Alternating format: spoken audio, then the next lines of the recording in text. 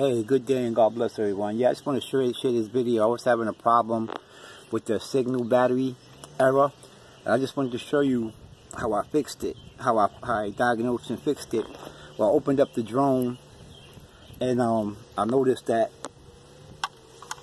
right here, where the battery clicks to the um, connectors wasn't lined up.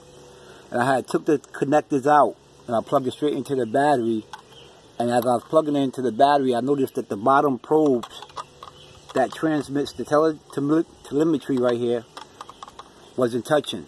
So that was the fix. So I lined it up, I took it back out, I put it in, and now the battery shows up. I was getting the error message at, before saying that um, that I wasn't receiving no no battery voltage or anything.